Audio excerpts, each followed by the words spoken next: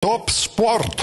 Kazinų lošimo automatai. Top sport. Lažybos. Top sport. Stalo lošimai. Top sport. Ruletį. Top sport. Nesaikingas lošimas gali sukelti priklausomybę.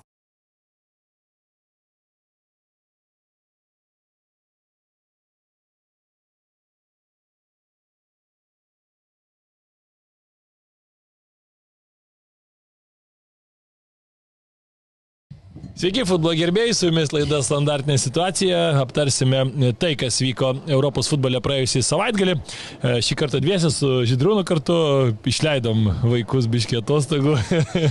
Vienas atostogauja, e, kitas nežinau, ką daro, bet nu, rytas. Eurolygos sunku. Eurolygos jau sunku. Tas krepšinis išvargina žmonės ne, nereikia jau užsiimti, nes paskui va, nėra laiko apie futbolą kalbėti. Tai, jo, bet e, pragužėjo krepšinis, žiūrėjai, ką nors? Jeigu sąžiningai, finalo ketvirtą kėlinuką. Ne. Nes aš tai, nu, iš darbinės pusės reikėjo žiūrėti, bet šiaip man įdomu tas finalo ketvirtas vis tiek toksai jau kelios tos rungtynės, e, paskutinis, tai, tai įdomu ir, ir ge- geri mačai. Šiaip Nes smagiai. galima tokių sąsajų yra su futbolo realu, ne? Jo, jo. Veterančikai, kur reikia nulėmė, nu čia šį kartą sumancyti nelabai realai, bet iš esmės tų tendencijų gali atrasti. ne? Jo, čia galima vadinti, kad ne tik, žinai, futbole ar krepšinė, bet e, visa taip kaip organizacija veikia, bet e, kitas dalykas, kad, nu, turbūt čia kažkiek galima susijęti ir, ir, ir ne visai jau juokaujant, to rimtai sakyti, nedaug yra organizacijų, kurios išlaiko tiek ilgai tuos savo žaidėjus ir ypač, pavyzdžiui, krepšinį, tai apskritai ten dažniausiai ten tos komandos keičiasi daug, daug labiau, jau mes futbole čia kalbam, kad e, oi čia žaidėjai neišbūna ilgai, ten e, kelis tik tai sezonus, krepšinį ten būna žaidėjas ten per dešimt e, sezonų sužaidžia dešimt skirtingų komandų ir, ir čia nėra, nėra nieko neįprasto, tai, tai vat, tas išlaikymas tų žaidėjų toksai irgi, kaip sakyt, jis kainuoja, bet tau Bet yra rezultatas. Ateina ane? dividendai. Tai mes tą patį tenerių rate, mes kiekvienas turim tokius susirinkimukus, kiekvieną pirmąjį, penktadienį ir aptarinėjom būtent e, veteranų įtaką, ne, krepšinį, bet per futbolo prizmę ir tas stabilumas. Ir atsit, kodėl ten lemiamais momentais tų patyrusių žaidėjų nesudreba rankos. Tai va ir diskutavom, tas pats futbolė, ten realizuojant 11 m baudinius, ne, ar kada ten vyksta tie lūžiai rungtinių gale, kada sugeba vis tiek labiau patyrę futbolininkai išspręsti. Nu, tai vis tiek tai nori, nenori priimti tos išvados, kad jeigu jie ir neįmes, na ką darysi, ne, krepšinį kalbant, futbolė nunimuš, jaunas ten pergyvenęs, prisiminkime Anglijos rinktinės e, baudinių seriją, kur jaunimas mušė su italais, taip, ir ten vėliau jiems labai sunku psichologiškai atsigauti. O čia, prašom, jie įmeta, dievai, neįmeta, na ką darysi, sunkus metimas buvo, ne? Vienas iš. Taip, vienas iš, taip, ir jie išsprendžia už tai, kad ta psichologinė našta kiek kitokia ant jų pečių, ne pirmą kartą, galų galia vadinkim taip. Jie tokiuose situacijose ekstreme yra buvę savo gyvenime. Ir jiems tai yra, na, tokia pripratimo fazė, kur pasiemi ir padarai. Jo, tai ten tu krepšininkų ar futbolininkų pas atsidarai Wikipedijos puslapius ar kitus paskaitai ten dosie, pamatai tos titulus tenai suštabeliuotus taip, taip. ir tu puikiai supranti, dėl ko, dėl ko jie. Dėl ko Kazimiro ateina ir nejaučia jokio ten mandražo, nepakeitęs iš, iš Realo į Manchester United ir prašom, Kas žirklę jam? mušo. Kas jiems čia tas Manchester United, kitam čia, žinai, gyvenimo šansas, Taip, ateini taip. į klubą, wow, čia žiūri, Old Traffordas, taip toliau. Nu, jisai atvažiuoja, galvoja. Buvau čia, dariau tai ir... Aplošinėjau, ne? Nebuvo problemų. Jo, jo, tai smagu, smagu, aišku, krepšinio tas savaitgalis pasibaigė, kai kam šventiškai, kai kam nelabai daug graikų buvo, teko šeštadienį ir Vilniui pavaikščioti po miestą vakarė, ten išėjti šiek tiek irgi paragauti vieno kito gėrimo, tai, tai daug buvo iš tikrųjų graikų. Tai matom, kad padėjo šiek tiek gal Lietuvai. Bet aš ir dar pirmadienį buvo tas koncertas Ramšteinų, tai daug vokiečių irgi buvo, tai tokias dvi dienos. Ir mes kaip su draugu sakom, nu, turbūt vokiečiai galvodami prie, į Lietuvą, jeigu kokie paskutinį kartą prieš dešimt metų buvo, atvažiavo, galvoja, o pagersim e, Kalsbergo, pigaus, žinai, už porą euriukų, bet sakom, turbūt kai pamatė kainas, nes mes su, su draugais neseniai prieš savaitę realiai buvom Berlyne, kur tikrai pigesnis buvo kainos į tam tikrų priemonių, į kalbu apie šaltą dalyką, tai, tai sakau, manau, kad e, liko nustebinti, kad pasikeitė Lietuva, sako. Gerai, keliaujam prie, prie futbolo reikalų, aišku, iš pradžių nerėm į Anglijos Premier lygą.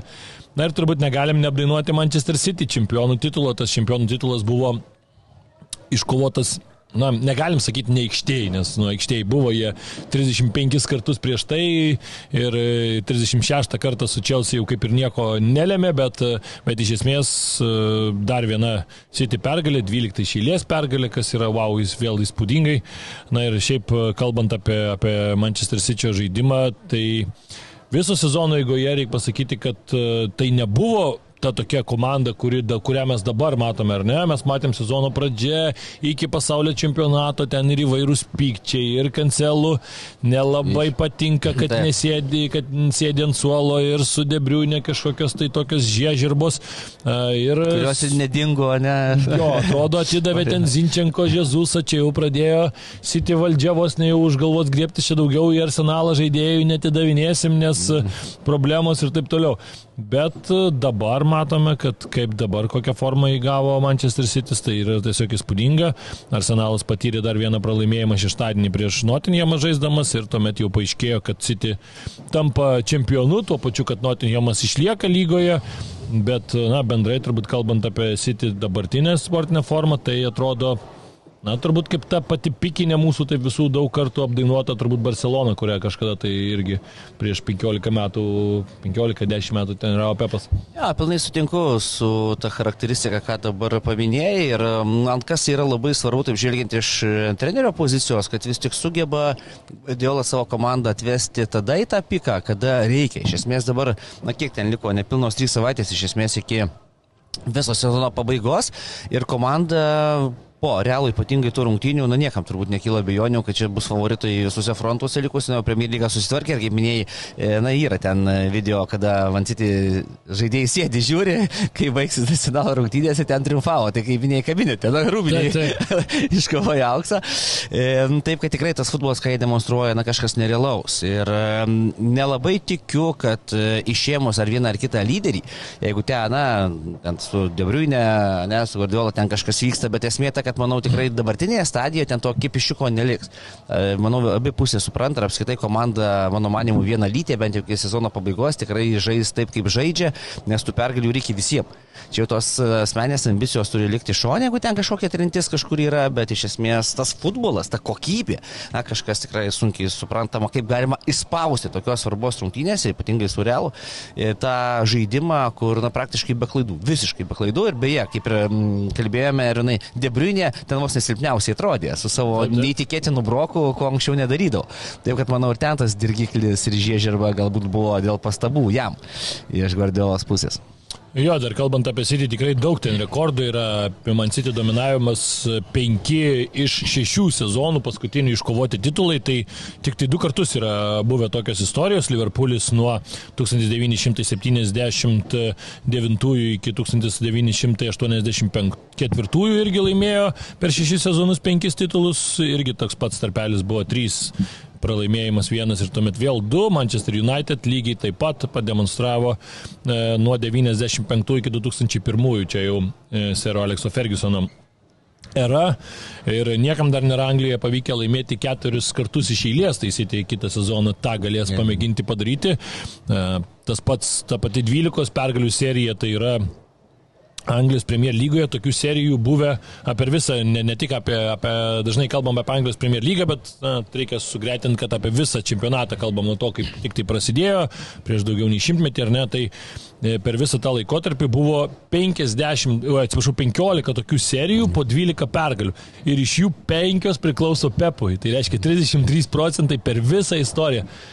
Tai yra treneris, kuris dirba kiek, 7 sezonus su Manchester City. Na, žinai, ir, ir visi turbūt turim supras, kad pasiekti olimpą yra žymiai lengviau negu jame išlikti. Taip. Ir ten gerai išlikti metus, dar du, bet tu iš esmės dominuoji su jo filosofija jau eilėje klubų bedirbdamas. Ne, ir tas, tas, tas žaidimas, kurį jis atranda ir žaidėjim priskiria funkcijas. Tai reiškia, jis taip giliai, na vadinkime, įlenda į žaidėjo vidų, į žaidėjo savybės, į jo galvą, kad sugeba, tarsi, na, ateina tie laikai, kada kalbama, kad to uždės žaidėjim ant, ne, ant galvų ten kažkokias racijas ir ten vos neteneris galės nuo suoliuko aiškinti, kur bėgti, tarsi toks autopilotas. Tai čipus įdės Čipus, kur nors. tai, tai, tai jau dabar tarsi tas įvesta jo žaidimą, nes žaidėjai jau pagavę tą tokį automatizmą tam tikrose žaidimo stadijose, kad nuveikia, kaip sakau, tai pasižiūri, kad, kad žaistų kažkas tą PlayStation, ne valdytų tuos žmogeliukus. Tai iš esmės tu antiek jau nukreipi savo visą treniruočio procesą į tas visiškai mažas smulkmenas, kurias nušlifavo, sutampi,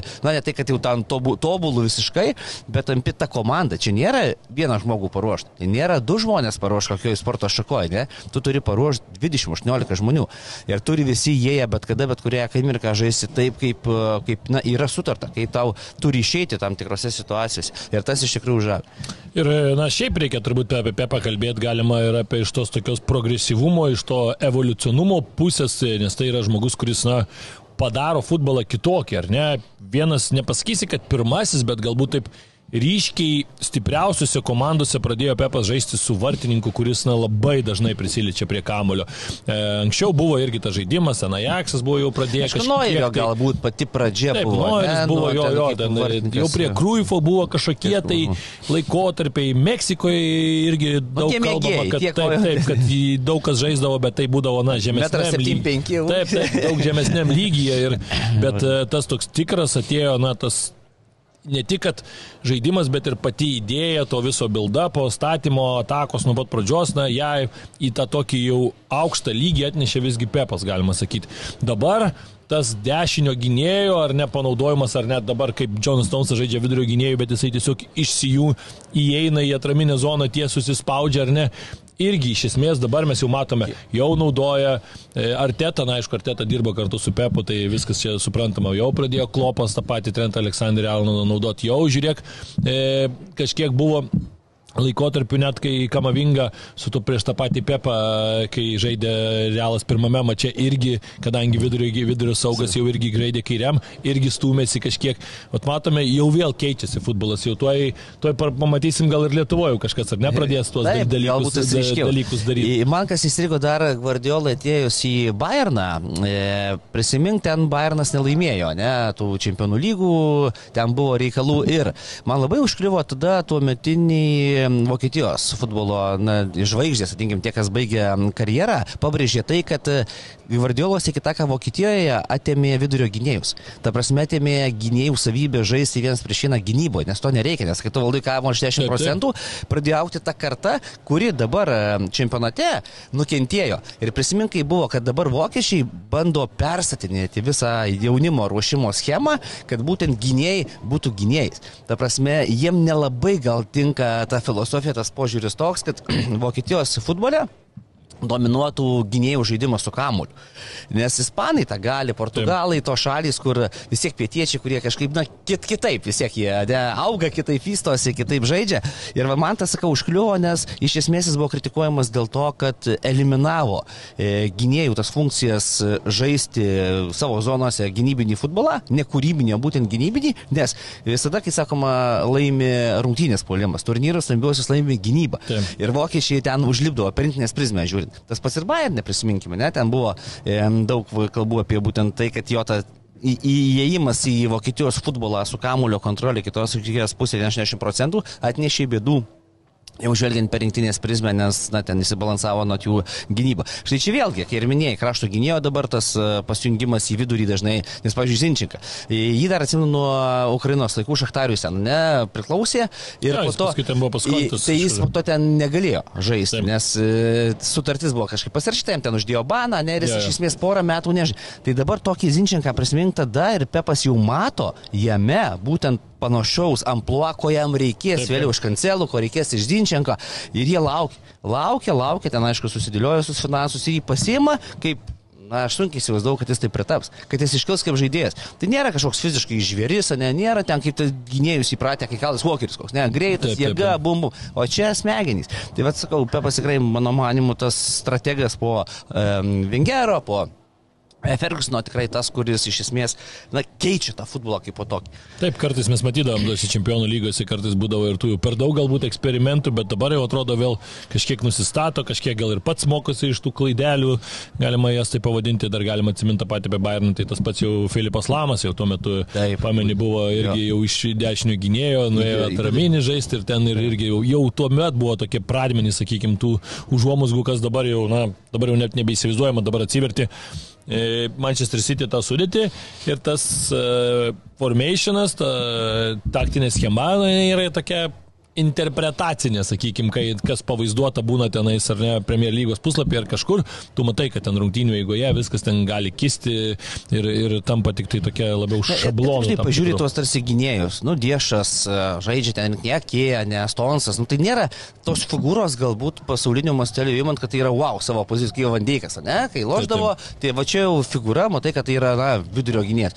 Čia tarsi visa grandis, jam svarbu visa grandis, ne vienas žaidėjas, nes jeigu gerai bus du stiprūs, vadinkime, vidurio gynėjai su savo funkcijom geromis kraštus ir netliks to darbo, na ir nebus gynyba galbūt tokia, e, na ne tai, kad paruošta tokiems tikslams įgyvendinti, bet paprasčiausiai, nu, ten prasidės kažkokie tai nelabai geri dalykai. Taip, kad sakau, čia kaip mechanizmą tiesiog sustugiavęs idealiai. Na, kai simfoniniam orkestrė, neiškris kokia dūda iš konteksto. Ar, ne, tai, tai, tai mes matėm ir dabar rungtynėse su Čelsiu atrodo tiek daug e, pasikeitimų, aišku, ten kaip pas tave nuo suolo pakyla, kaip atrodo ten toks jau kažkur gilus atsarginis Kalvinas Philipsas, kur čia vienas geriausių Anglijoje saugų ar neskaitomas. Tai na, toks, ar ten Marezai įleidė į startinę sudėtį, Filą Faudeną, Alvarėsą, kuris yra pasaulio čempionas, pagrindinis Argentinos rinktinės polės. Tai aišku, ta sudėtis tokia, negali labai pavadinti, kad čia antra išėjo, bet, bet iš principo tai žaidė tikrai na, ir Riko Liujisas ir taip toliau. Tai vis tiek dominavo prieš Chelsea, dar galima šiek tiek irgi tų skaičių pasižiūrėti apie Pepą Guardiolą, tai nuo 2008-2009, kai Pepas pradėjo dirbti jau tam top lygyje Bars, Barsoje, tai 11 titulų nuo to laiko iškovojo, tai arčiausiai yra Allegri iškovojęs 6, Antonijo Konti pavyko 5 kartus laimėti čempionatą, ant, toliau Ančelotis, Blanas ir Mūrinio laimėjo po 4, tai matom per tą laikotarpį, čia 15 metų laikotarpį, na, iš esmės beveik visada čempionatą Pepas laimi. E, aišku, kai kas yra tokių kalbų, šnekama, kad vat įdomu būtų, jeigu Pepas paimtų ten kokią vidurio komandą, žinai, ar ten čempionšypo komandą, teko ten podcast podcastą vieną klausyti, bet, na, nerealu turbūt, kad taip nutiktų, nes e, faktas, kad tokio lygio treneris ir dirbs visą laiką, na nebent čia neteis, nežinau, kažkada iki Marcelo Bielsas kažkaip ar kaip ten e, Ančelotis buvo atsidūręs Evertonė ar ne. Nemanau, kad jis ten paskestų, gal ten aišku iš Evertono ten kokius stebuklų nepadarytum, kad jie ten pirmą vietą laimėtų, bet turbūt, kad irgi būtų akivaizdus, aš manau, pokytis po tam tikro laiko, kad vis tiek ta kokybė, Taip, ta braiža, ko, kokybė kažkokia paitų į priekį, aišku, galbūt tau reikėtų vieno kito transferų lango, net nebūtinai kalbant apie labai brangių žaidėjus, bet tiesiog kurie tau tik tiktų į tam tikras pozicijas, ar ne, kaip, na, kaip figūros, ar ne, nes, na, tu nežaisi ten futbolo tokio su vidurio gynėjais, kurie ten po 2 metrus ir, ir perdavimo negali atlikti per 20 metrų, ar ne. Kalbant apie City, tai dar irgi įdomi statistika, kad daugiau jau nei 100 įvarčių įmušė namuose, e, žiūrint į kitus. Arčiausiai per, šitą, per šį sezoną visose turnyruose įmušusios komandas, tai Bayernas antras yra šioje kategorijoje įmušė 66, tai matom, koks skirtumas, trečdalio yra iš esmės skirtumas, tai na, tikrai sunkiai suvokiami skaičiai ir sakau, čia tų skaičių yra daugybė, galima skaityti ir skaityti, žiūrėti. Beje, bet jie nenublanks, jeigu Manchester City nelaimės čempionų lygos. Tai va, aš ir norėjau prie to privesti, kad vis tiek turbūt prie viso ko, ką mes šnekam, jau dabar tie 5-6 titulai, nu jie jau yra tokie kaip duotybė gal negali pavadinti, bet ar ne, jau įprastas reikalas kažkiek neatsitė. Aš nestebinu ir gali. Jo, jo. O dabar tos čempionų lygos ir aš manau, gal ne tiek anglams, tai anglai turbūt, kad vis tiek jie vertina tą savo Premier lygą, jiems čia Manchester United nukalėm, Liverpoolį nukalėm, čia Arsenalas kažkoks atėjo pasipriešinti irgi davėm per skūrą, viskas gerai ar ne, bet jiems turbūt, kad netaip rūpi, bet aš galvoju, vat savininkams, ar ne, kurie nusipirko, tai yra Kataras, jie nori įprasminti tą savo kaip tokią dinastiją, ar ne, kad vat mes atėjom, investavom, padarėm produktą, padarėm geriausia pasaulio komanda, galbūt kaip jie vadina, bet jeigu tu nelaimi čempionų lygos, tu negali vadintis geriausia pasaulio komanda, nes, na, tuomet ta pasaulio komanda, kad ir kaip tai e, galbūt keistai beskambėtų, bet vadinsis Milano Interas. Bent jau kažkuriam laikotarpiui. Ok, turnyro komanda, dar kažkas, bet dabar, ir dar žiūrint į dabartinį turbūt situaciją visą, na City neturi už ko slėptis, nes dabar tu jau laimėjai čempionatą, tu gali saugoti žaidėjus, tu savaitę prieš turėsi Manchesterio derbėje Feitaurį ir ne dar pasitikrinimui saugoti. Ne, Geras negalės, jo, iššūkis. Ir, ir negalės sakyti, kad čia mums čempionatas baigėsi, mes čia dvi savaitės laukiam, taip, taip, taip. laukiam ar ne. Tai vad Interas gal tą galės pasakyti, nors Interų irgi dar lauks taurė, neatsimenu, kada tiksliai reikės pažiūrėti. Bet principas yra tas, kad na, jie turi turbūt dabar įtvirtinti savo tą, dar laimėdami čempionų lygą, ar ne? Taip, net nebejoju. Ir jie tikrai, vat, ką matėme, tai tų šansų yra, bet na, kaip banalybė, kas beskambėtų, tas finalas yra finalas. Vis tiek tos vienerios nerungtynės ten gali e, smūgiuoti ten, kai Roma buvo daužoma e, ir po to ten... Arba kaip Lesteris. Taip, arba kai Lesteris iš tangų tos virštai visi skersiniai laužomi, bet e, neįmušė. Taip, kad čia, nu, visko gali būti. Bet faktas tas, kad Man City pagal žaidimą šiai dienai, šiais metais yra tikrai geriausiai futbolą žaidžianti ekipa. Na, dabar va, kaip tik pasižiūrėjau į Interą, tai taurė jų laukia taurės finalas kaip tik rytoj bus žaidžiamas, o lyga nusitėse pas juos ilgai truks Italijoje, net e, Birželio ketvirtą dieną paskutinis mačas su Turino būtent e, išvykoje. Tai šiaip iš principo turbūt irgi gerai, nes tu tada turi tą žaidybinį ritmą, savaitėlę. Jo, sekmadienį užbaigsi ir šeštadienį lauks čempionų lygos finalas. Tai čia nei viena, nei kita komanda negalės skūstis nei kažkokiu tai tuo krūviu. Na, jeigu ir galėjo skūstis, jis tikrai nebuvo, mm, nebuvo mažas, nes atsiminkim, kada prasidėjo visi sezonai ir ne. Taip, taip, Rūpiučio pačioj pradžioj, pauzė buvo labai trumpa, nes dar visą beveik birželį žaidė ten rinktinės, atsimenam, ten po keturis mačius, dabar vėl tik tai pasibaigs vėl visi į rinktinės. Na, aišku, kažkiek ilgesnė bus vasaros pauzė, bet iš principo, na, tikrai sezonas ilgas, sezonas uh, sunkus visiems, bet mes matom, kad, na, bent jau City dabar atrodo, kad atėjo į tą sezono finišą puikios formos. Arsenal dar šiek tiek palieskim, ar ne, pralaimėjimas Notinjamui. Atrodė jau tikrai, kad Arsenalas atėjo į tą mačą neturėdamas jokio tikėjimo ir man atrodo, kad dabar atėjo sezone tokios stadijos e, čempionatuose beveik visuose, kur tu labai pastebi, kuriuom komandom reikia. žūbūt. Jo, jo, kurios ten mirtinai kabinasi nagais jau, o kurios ateina tiesiog, na, pabūt, no. sakant, kad vat, dar dvi rungtynės liko, tai dar, dar du kartus ateikim, susirinkim. Aišku, aišku žaidžia, ten negali sakyti, vis tiek atini profesionalas yra tavo ir gali, vis tiek. Jeigu sekasi tiek, gerai, bet tai, jeigu... Būtent, ten tos valios savybių jau neištraukia taip, kaip tu ištrauki ten, kur tau irgi žudbūt reikia. Taip, kad šita pasąmonė vis tiek veikia. Ir save, kur ne. Taip, taip, na tu žaidė, žaidė, kažkas nepaėjo, praleido įvartį. Nu, žaidi toliau, bet jau nėra to, kad ten, sakau, žudbūt ten turi kabintis, ten 95 minutę ten kris dantim, kai Jokubaitis ten mažai. tai to, to nėra. Ir tas natūralu, na, kaip ir minėjau, jeigu ten reiktų tų iššūkių, arsenalas sustvarkytų, bet dabar, kai lentelę žinome visi, taip, kad ten. Jo, buvo akivaizdu, tikrai matosi, kad, na, vis tiek tu supranti, kaip žaidžia City, supranti, kad ten, e, okei, okay, ten likę dar varžovų, gal ten ir kažkas kažką įveiks, bet uh, šansų nėra daug. Nu, Newcastle svarbu, ne? Jo, jo, prieš tai reiktų, kad kad reikia važiuoti prie Newcastle, tikrai Newcastle'as e, e, iškovojo labai reikalingą jiems tašką ir tas taškas jiems garantuoja čempionų lygą kitam sezonui, nes dabar jau nuo Liverpoolio atotrukis yra keturi taškai, lieka ir Newcastle ir Liverpoolį sužaisti po vieną mačą. Manchester United yra šiuo metu ketvirti, bet turi du mačius rezervė, bet bet kokiu atveju turbūt reikia pasakyti, kad na, Newcastle'as nuo praėjusio sezono, kai kovojo dėl išlikimo, šį sezoną užbaigė top ketvirtį jau tikrai ir turi biletą į Čempionų lygą po 20 metų pertraukos. Ir iš esmės turbūt mes žiūrim į tą komandą. Nu ir ką?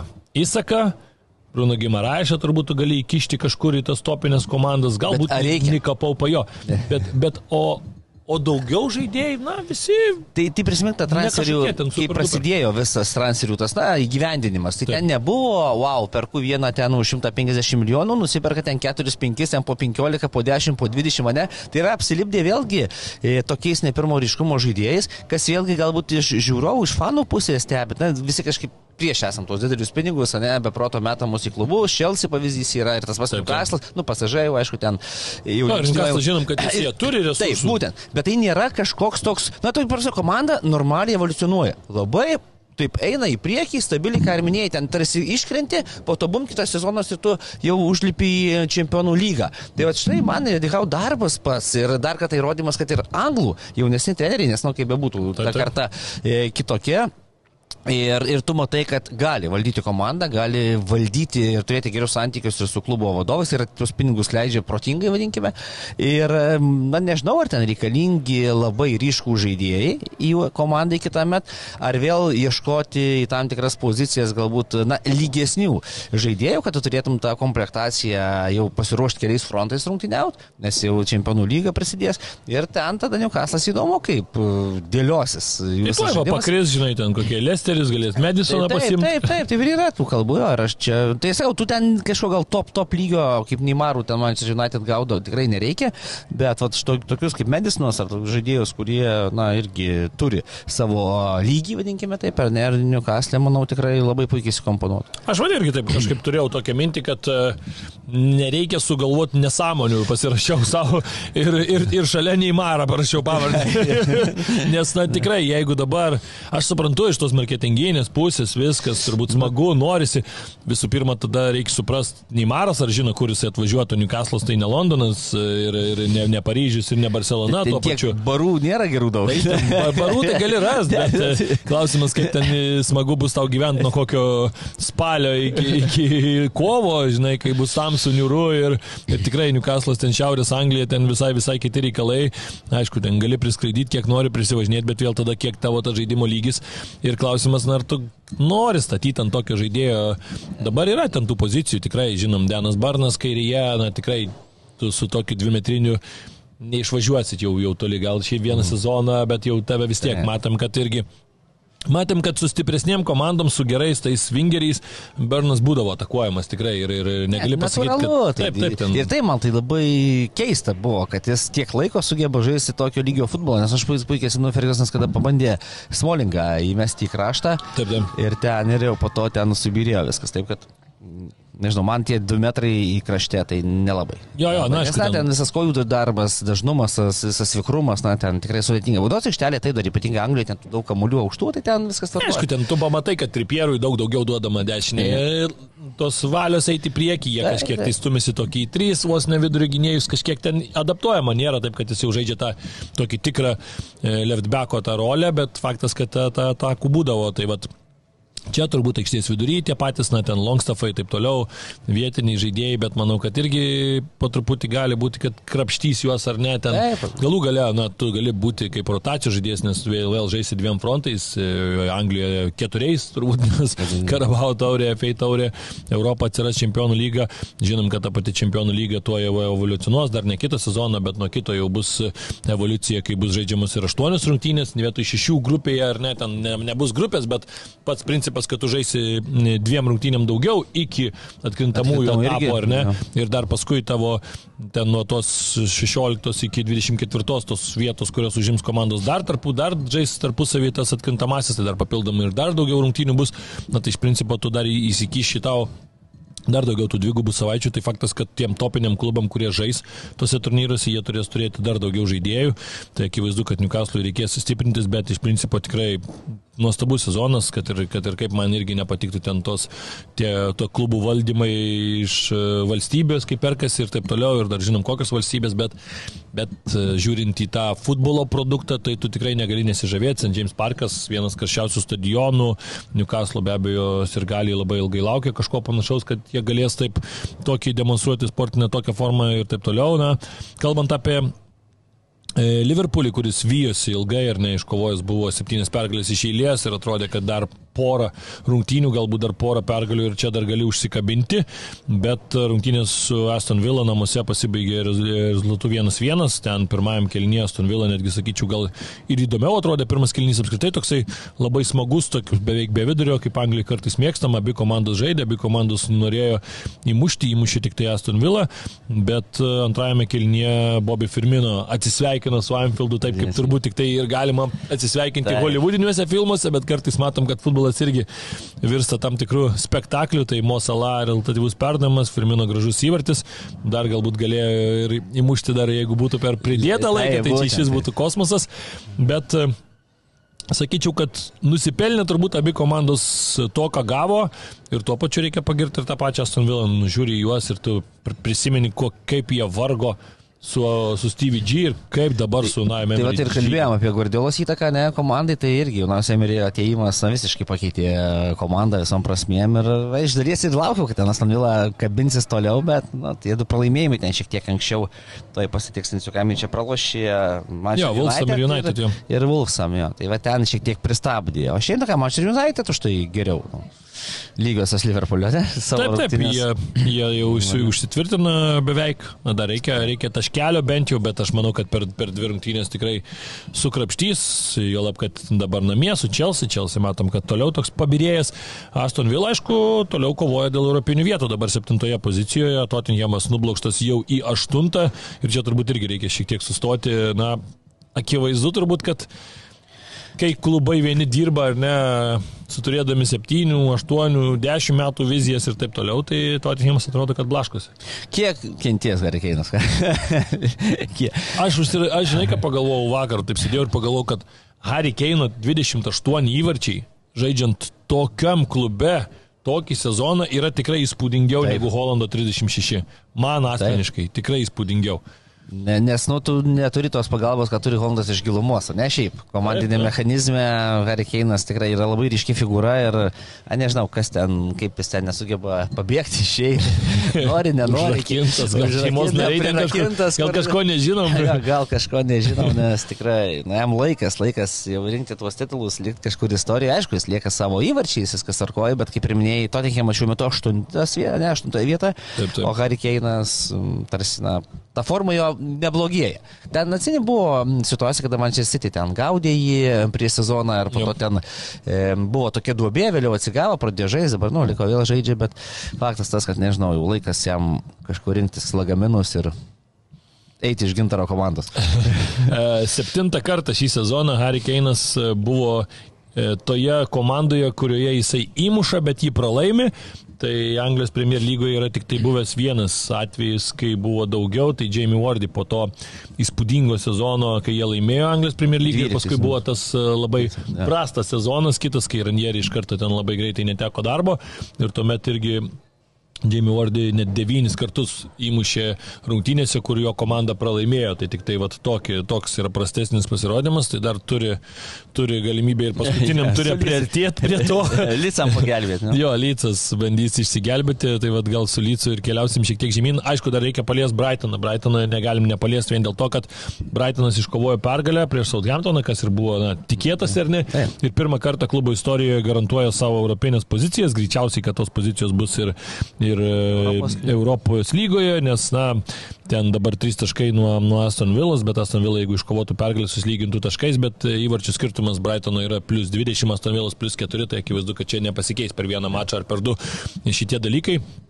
Tai Roberto Dizerbi buvo labai laimingas po rungtynių, atsiminė jisai tą istoriją, kai su Sasuolo jie nepateko į Europą, buvo išmesti, nors europinės pozicijas, bet atkrintamosiose nepraėjo, tai, tai na, ten per porą įvarčių jiems trūko, žodžiu, visko, tai Roberto Dizerbi atsiminė, kad ta, ta istorija jam skaudėjo, kad norėjo jis ir su Sasuolo iššokti į Europą ir dabar sako, va čia kažkas panašaus, nes irgi klubas, na, nėra iš didžiųjų, bet štai Anglijoje dar tokioje, kad pagalvotum, kad Brightonas prieš sezoną finišuos šeštas, tu sakytum, tai gerai, žiūrėtum dabar ar ne į lentelę, okei, okay, sakytum, nu gerai, Sitis bus prieki, Newcastle'as, ten uh, Manchester United, Nu, Liverpoolis, Arsenalas, gerai galvotum, nu gerai, bet tai dar kur Chelsea, kur Tottenhamas. Tottenhamas ar ne, sakytum. West Hamas tas pats. Jo, galbūt ten koks Veziemas, sakytum, nu neįmanoma, ne, nubaigtų, kaip tas Brightonas baigs, ten šeštas gali, ten aštuntas ar ne baigti, bet tikrai ne šeštas, bet matom fantastiką.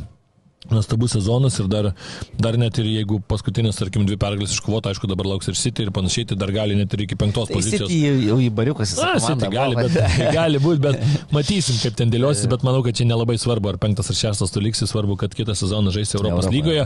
Faktas, kad turbūt, kad nukentės komanda Mitoma, Makalisteris, Keisedo, trys tokie jau labai ant ribos, aišku, Mitoma dar gali, vieną sezoną tik tai sužaidė dar Brightonė, tai dar kontraktą turi ilgą pakankamai, Makalisteris su Keisedo aš net nebejoju, kad išvyks, čia yra jau toks modelis, bet matom, kad ir Jamesą Milnerį pas, pasiėmė toks labai, sakyčiau, protingas pirkinys, kur tau žaidėjas Rubiniai turbūt daug duos Taip, patirties, taip, galų taip. galę tuose mačiuose, kai kuriuose jisai išeis ten pusvalandį, mes matom ir Liverpoolį, jisai išeina į- ir duoda tą tokią energiją gerą.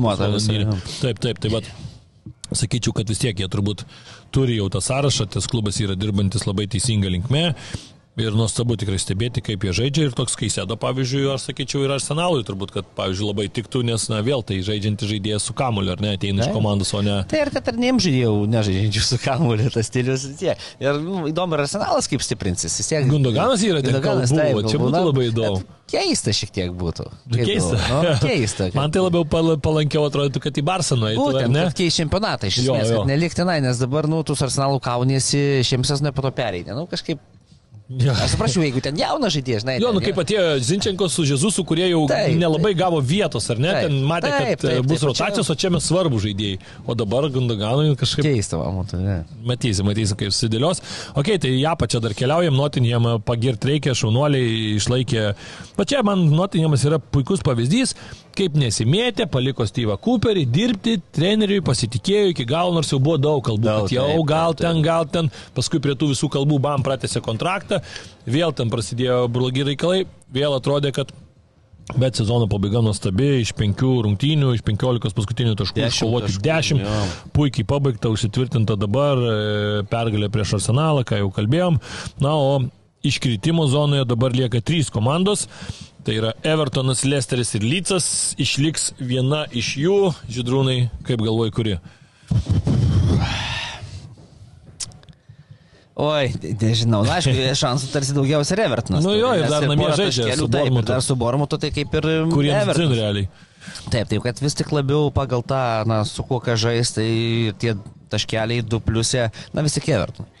Nes Lesteriui su Lysu, kaip bebūtų, reikia būtinai jau laimėti. Jo, jo. O pralaimėjimo atveju Evertonas irgi gali pralaimėti. Lygiosios. Na, ta prasme, ir jų dar reikia žiūrėti tuos visus įvarčius, kaip ten kas kiek muša.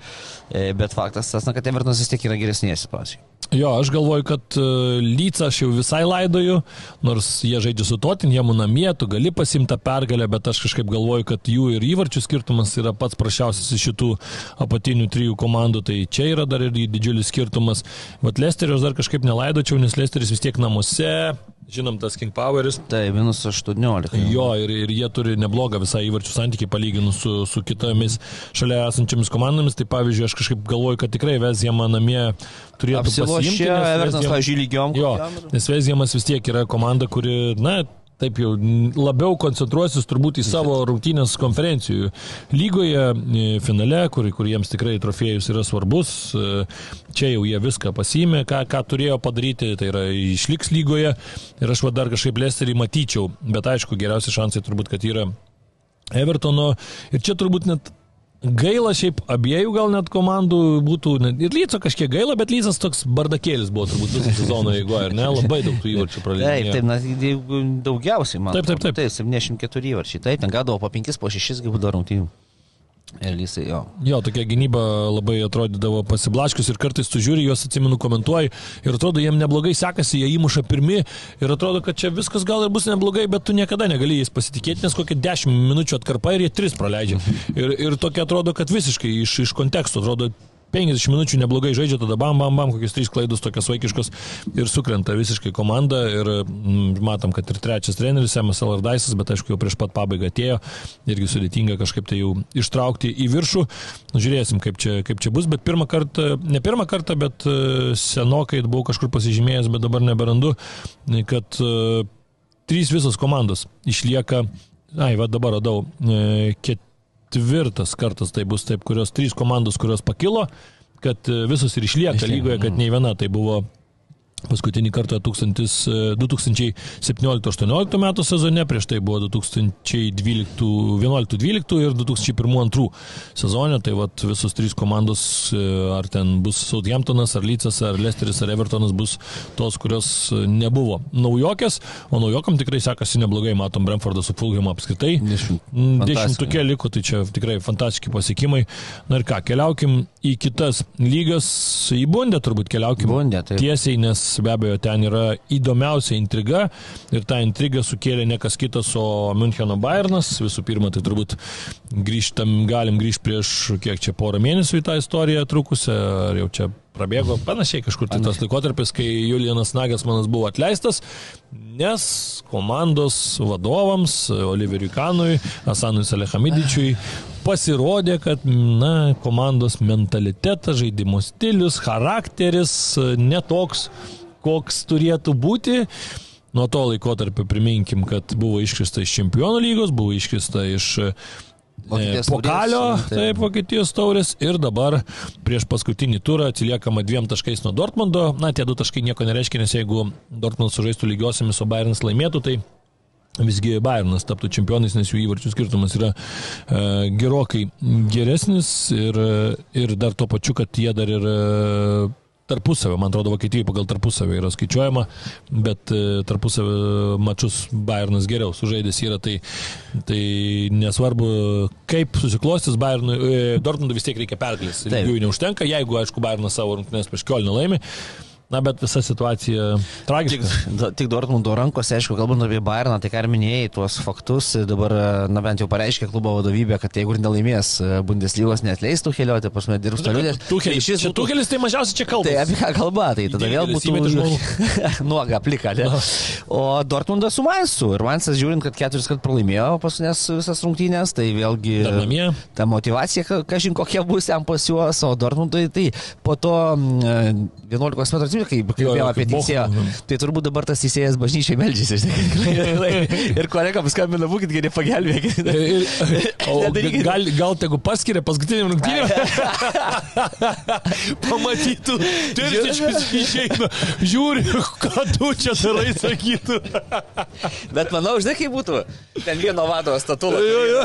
Kai viena pusė, kad atsistotų. Aš manau, Terzičius greitų, kai pat katų užeitų, kad traumą gautų žmogus, sakytų, jau aš geriau ten tribūnose kažkur, bet tik ne šitas eitų rezervinis įsijautų. Ja, taip, kaip Dortmundui būtų tiesiog, kas ne, košmaras, jeigu paleistų tokį šansą dabar.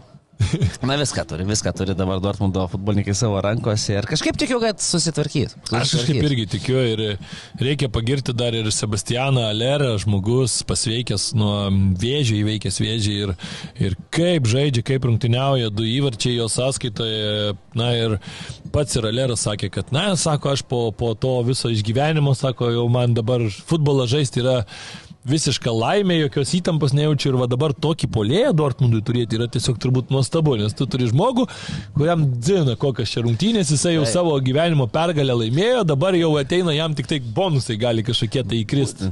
Vieni eina su įtampa, su nervais nemiega naktimis, ten iš klaidų, na, ten, žinai, išgyvena labai stipriai, o čia ką minėjai, ten buvo kova dėl gyvybės, vadinkim taip, ne viskas savo taip vardais tikraisiais. Tu čia ateini tik mėgauti, mėgauti, čia jau ne darbas, ne gyvenk mir klausimai, o tiesiog ateini, žaidži ir kaifuoji ir darai tą, kas tau labiausiai patinka. Taip kad tikrai man ir labai džiugu, kad tokie žaidėjai apskritai grįžta Taip, į taip. tą sportinę formą. Ir nes- muša įvarčius. Ir muša įvarčius. svarbiausius. Taip, Fantastika, tikrai, na aišku, Bayernas, reikia pasakyti, pralaimėjo Leipzigui 1-3. Nėra tai kažkokia labai didžiulė staigmena, ar ne? Mes kalbėjom, nu vis tiek Leipzigui reikia ir tų taškų, ir mes ir sakėm čia prieš savaitę, prieš dvi sėdėjom ir vos Tai net kaip tas kertinės rungtynės ir pabrėžėm, kad va čia, va, jeigu Dortmundas neklys, jeigu savo taškus susirinks, va čia gali būti šansas. Aišku, viskas atrodė labai neblogai, Bayernas įmušė pirmieji, pirmam kilny geriau atrodė, viskas atrodė neblogai, bet paskui vėl tas kortų namelis taip bum, bum, bum, bum, bum ir nusivažiuoja, tas pavaro baudinys toksai irgi. Nu, kvailas toksai pavadinkim, ten kiša kojas, jau aišku, ir inkunkunku labai gražiai, l- taip gudriai uždėnės. Šiaip iš esmės tu siektum turbūt kamulio ir bandytum dar taisyti toliau, bet tu matai pavaro tą koją Taip, ir tu dedi į tą tarpą, dedi, krenti, nu tikrai gudrus, bet, bet tai yra taisyklių rėmose, tikrai nepavadinsi, kad tai yra na, tas daivinimas vadinamasis, tiesiog tu gauni kliūtį prieš, kaip, jie šlagbaumą ir tuo pasinaudoji. Čia jau gynėjo yra klaida, gynėjas suteikia šansą tą polėjį pasimti ir polėjas tą padaro, paskui pats realizuoja, paskui antras baudinys man nepatiko. Man tie Mazruojai ten atšoka, jisai sukasi kažkaip ten tą kamuolį net nemato, jam čia pataiko, aplinkui tų žaidėjų jokių nėra, tas pats kamuolys kaip keliavo ten toliau, ten ir nukeliauja, kad ten kažkoks dar Leipcigo žaidėjas už nugaros lauktų, ir sakytum, kad nuo to judesio jam prašoka pro kažkur, nu tada dar gali. Dabar ten 3 metrų spindulių nieko nėra, Gamuolys į tą pačią pusę keliauja, tai nepatiko, bet aišku, ne čia buvo šaknis kažkokios to pralaimėjimo, nu gerai būtų įmušę, kad ir ten tą įvartį būtų 1-2, dar būtų kažkur išlyginę 2-2, ta pati situacija, nieko nekeistų, lenteliai, viskas tas pats, Leipzigui tik tai dabar keičia tai, kad Leipzigas jau užsigarantuoja savo vietą kitų metų čempionų lygoje, čia irgi reikia pagirti Marko Rozę, kuris padarė gerą darbą, atėjo į komandą ir pats iš Leipcigo kilęs, gimęs, tai jam be abejo tai yra na, garbė būti su šio, šios komandos treneriu. Jis tą yra nekart akcentavęs ir savo įvairiuose interviu ir tikrai gera sezono pabaiga. Dar žinom, kad žais Leipcigas ir taurės finale e, Vokietijos, tai dar gali ir su titulu pabaigti. Ir tikrai trečia vieta jau užtikrinta, jeigu pabaigti su titulu, čempionų lygai. Na, tikrai manau, kad Marko Rozės buvimu tame klube ir tuo, kaip jisai pakeitė klubo eigą atvykęs į komandą, kuris tikrai sezoną pradėjo labai labai silpnai, tai manau, kad visi tikrai yra patenkinti.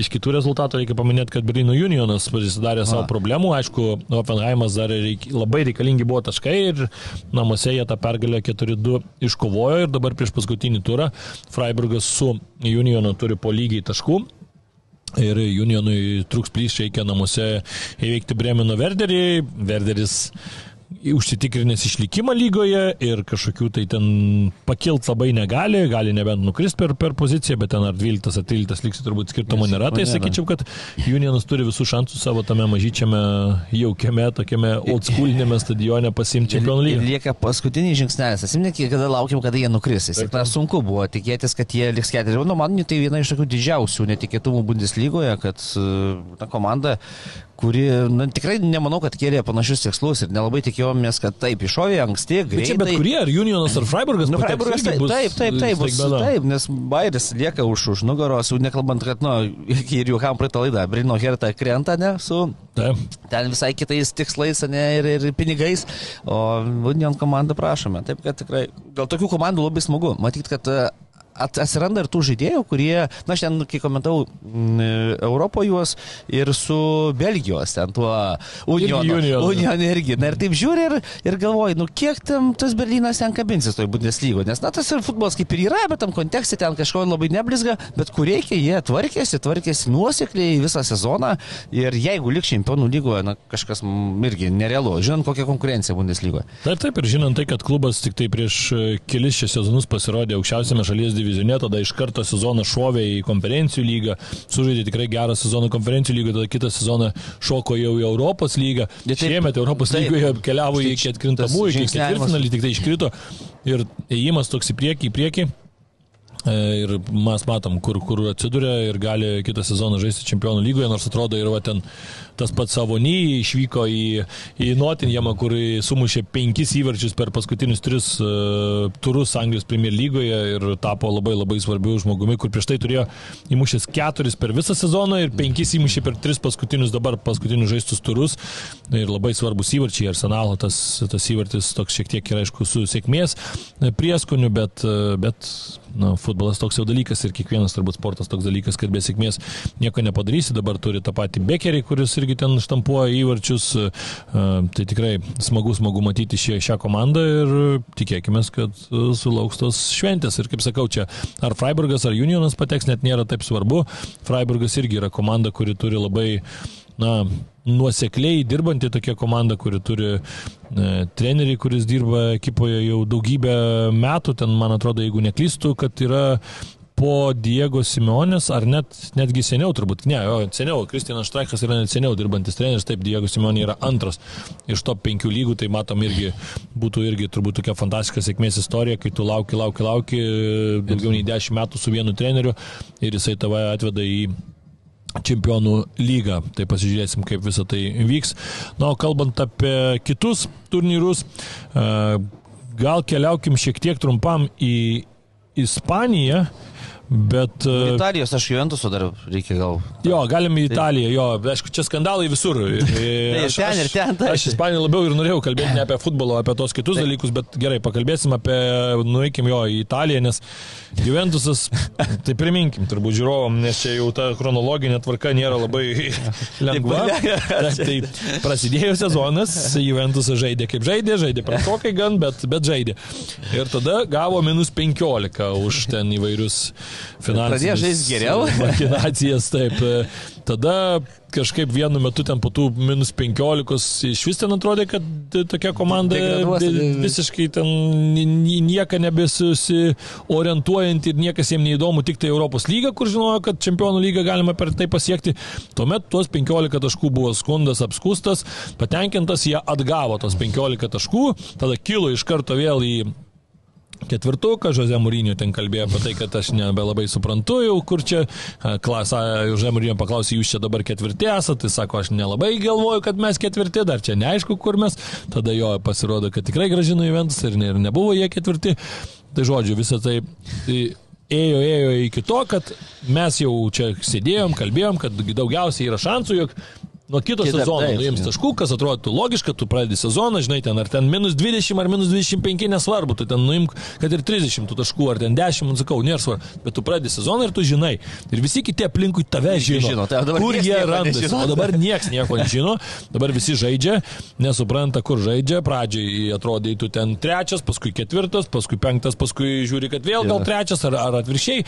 Nu ir žodžiu, tokia nesąmonė ir dabar Juventusas at, iš Juventuso dabar atimta 10 taškų, ne 15, 10. Būtent. Nes man žinai, kas įdomu, tai pažiūrėjau į lentelę, 59 taškai, o Roma 60, Atalantas Jo. 61. Tai prasme, atėmė tiek, kad dar tau palieka šansų, kad tai aišku, Empolį pralaimėjo. jeigu nuo Empolio trijų, taip. tai Bet kodėl tada ne 12, tu ėmė ne- vėl ne 15, nu ėmė 10, tai prasme, palieka tam dar galimybę žudytis galės sezono. Na kažkas vėlgi sunkiai suprantama. Taip, taip, tai man irgi čia atrodo toks, kad vat, nuimsim tiek taškų, kad, e, Kad galit. kad nukristų žemiau, kad būtų visi patenkinti ir, Ir Romas, ir taip, Interas, ir- Roma, ir Atalanta negalėtų skūstis. Ir kad dar ir Juventus, va čia galėtų lyg ir, nu mes čia va, trys, turai. Saliauniškas sprendimas. Jo, jo. Nesąmonė, visiškai kažkokia tai žodžių baisu. Ir tada, Interas, ir tada, atsiprašau, Juventusas dar pralaimi Empoliui.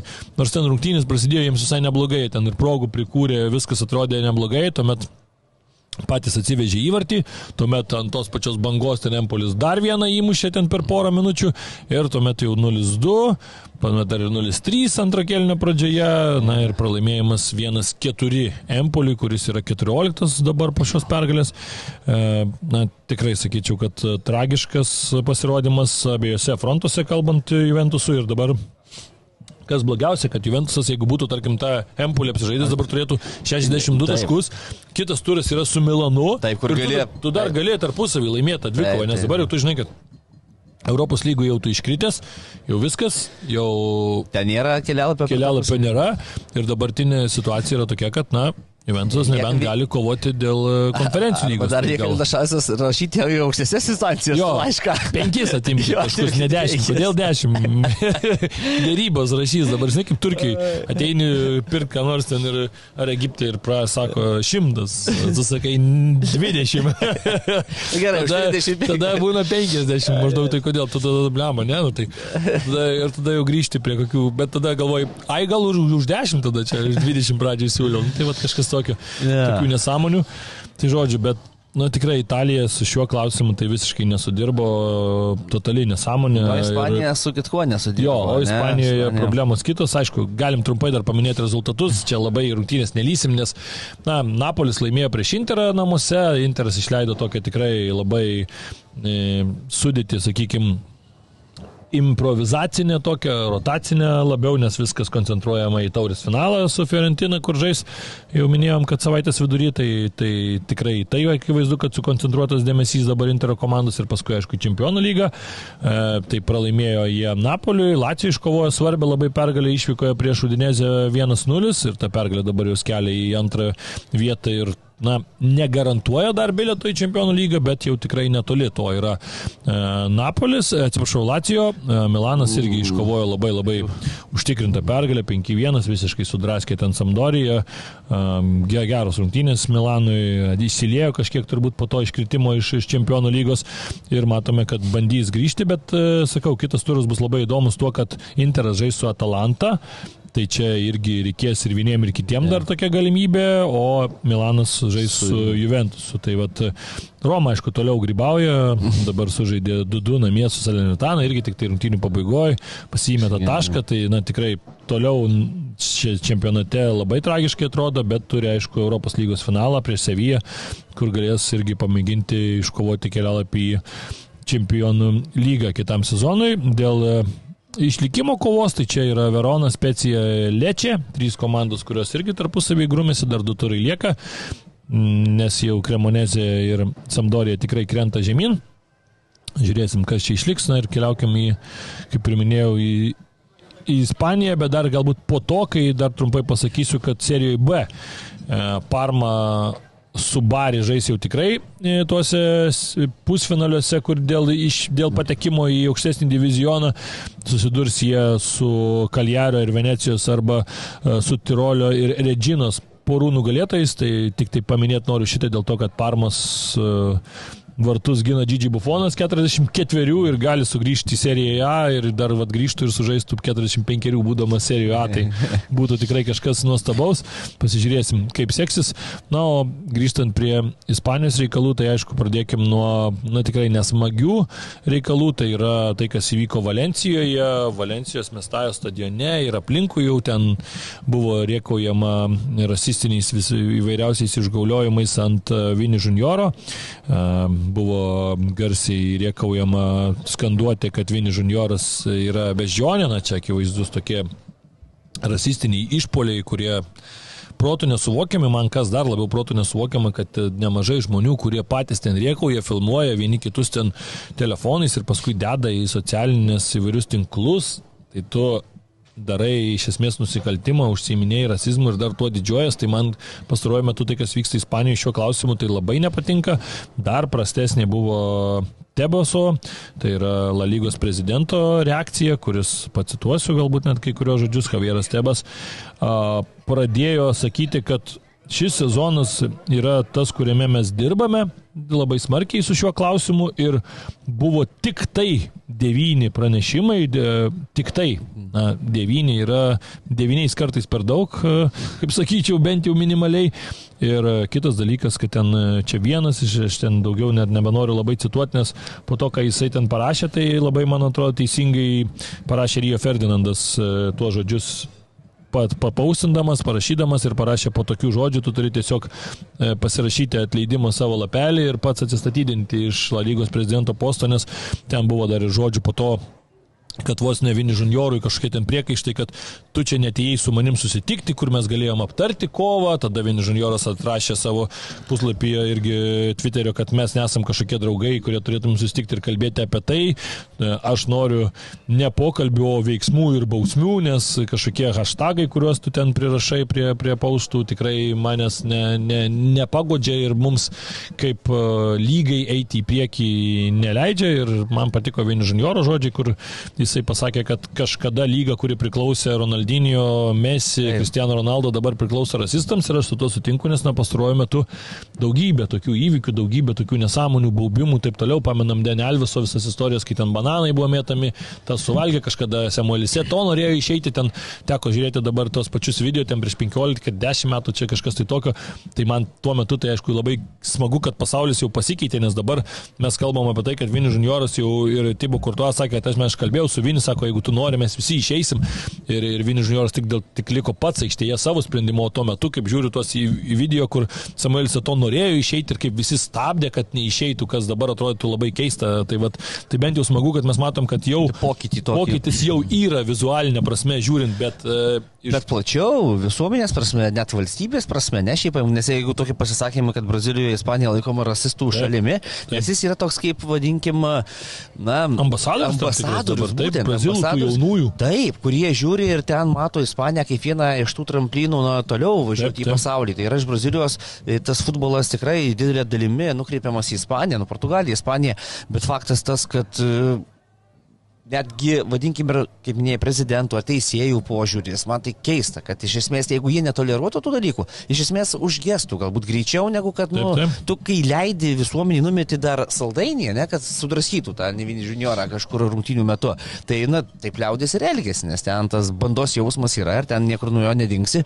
bet kitas dalykas, ne, yra gi kitos priemonės, ten tie, kas internetuose rašinėje, ten taip, taip toliau yra turbūt. Tai galų gale paprasta priemonė stabdyk rungtynės, išvesk visus žaidėjus. Taip, po to, e, Pasakyk dar taip. kartelį. Kitą rungtynės Jo, be žiūrovų. Be nu, žiūrovų. taip, taip. Kitą kartą tiesiog išvesk, viskas, išvesk pasakyk, kad dabar grįžai idėjai po 10 minučių, bet jeigu kažkas bus, viskas. Nutraukia nutraukia pralaimėjimas Taip, techninis taip, ir viskas. Tai tada klubas irgi bus suinteresuotas, nes dabar tai tu atrodo ten vos ne, ai, pasijuokai, čia mūsų kažką čia pažinėjo, nesvarbu, ne mūsų. Tai toj pačiai Valencijai rungtyniauja tie patys juodaodžiai, Taip, tie taip. patys uh, brazilai ar dar kažkokie kiti ir jie jau yra tau geri ir faini, o štai O, tai varžovas jo, yra kažkoks tai taip. Tai, nu, nesąmonė. Tai tada ir atrodo- savo, ne, Taip, ir taip. savo žaidėjus. Tai tu tada jo tada sakyk, kad mes čia nenorim tokių vos nežaidėjų pas save, ten nurašyk prezidentui dar kažką, bet nu, kas būtų iš vis totaliai nesąmonė, bet nu, čia yra kažkas, kažkas baisaus, aš nesuvokiu tikrai, kaip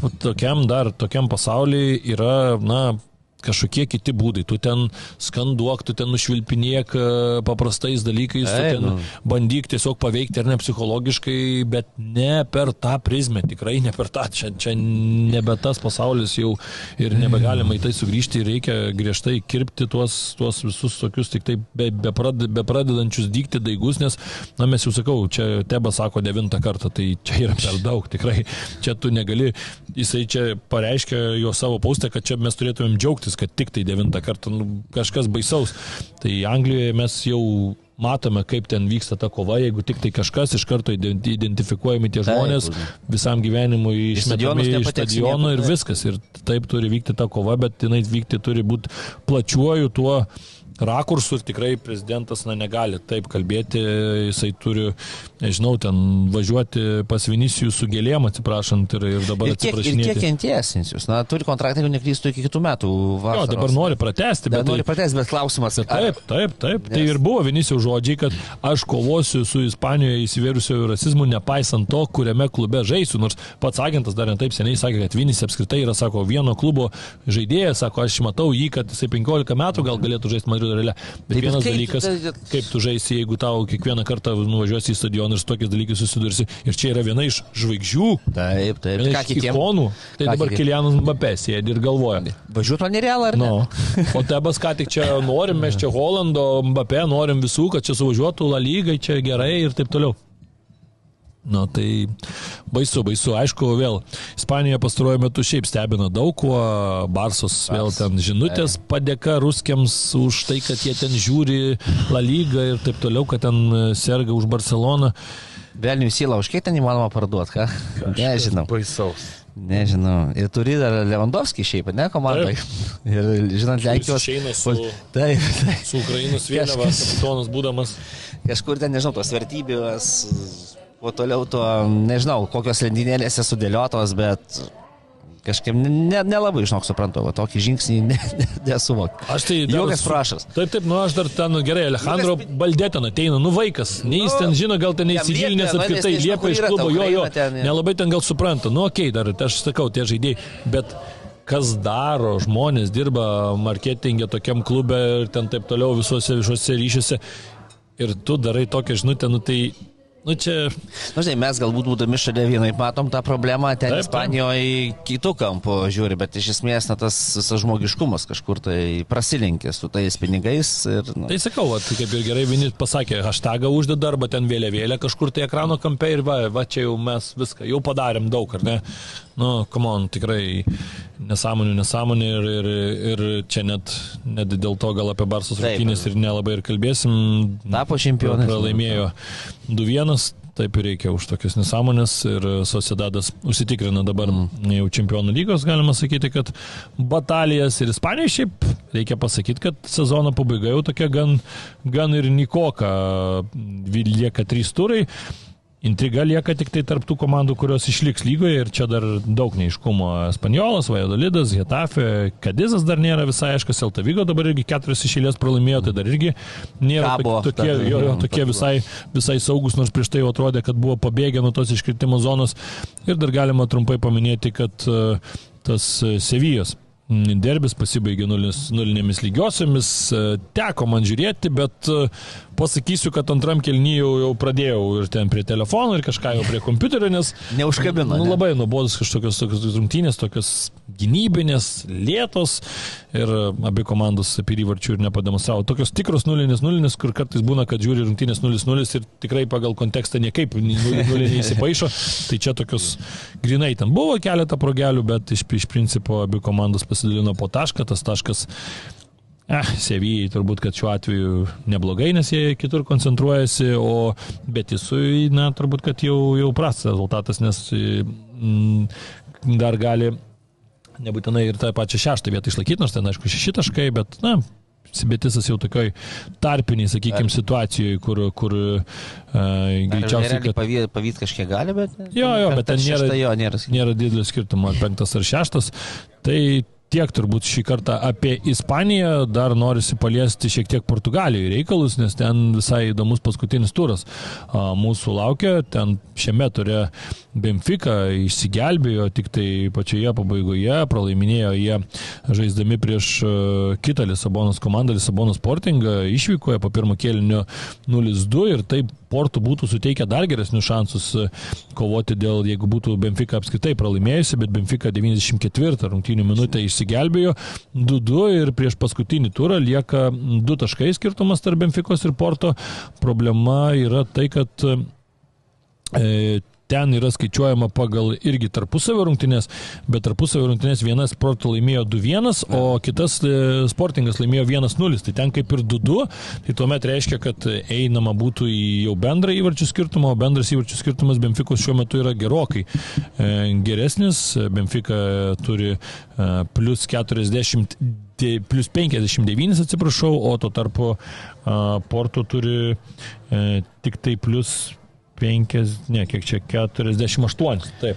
Bet kita vertus, Benfica su Santa Clara žaidžia su paskutinė. Jo, jo, jo, tai va ir sakau. Vieta ten jau turi gaudyti, to porto su Vitorija Gimaraš. Tai va ir sakau, kad na, problema ta, kad e, pra, gali net ir lygiosiams žaisti Benfica namuose, nes tuomet vis tiek taptų čempionais. Va, sakau, jeigu nebūtų išsigelbėję, tuomet tada, tai, tada. jo, vienas taškas ir tuomet jau turi būtinai laimėti. Tai tas dar tokia intrigėlė būtų, bet, bet pamenam, kad vis tiek intriga įsiplėskė, Porto sezono pabaiga labai gerai žaidžia, pergalės skina o tuo tarpu Benfica tuomet, kai čempionų lyga žaidė, ten buvo tokia dobelė ir jau buvo 10 taškų, bet dabar liko tik tai 2 prieš paskutinį turą ir dar šiek tiek tokia minimali intriga kaip ir išliko, aišku, ji nėra, nėra didelė.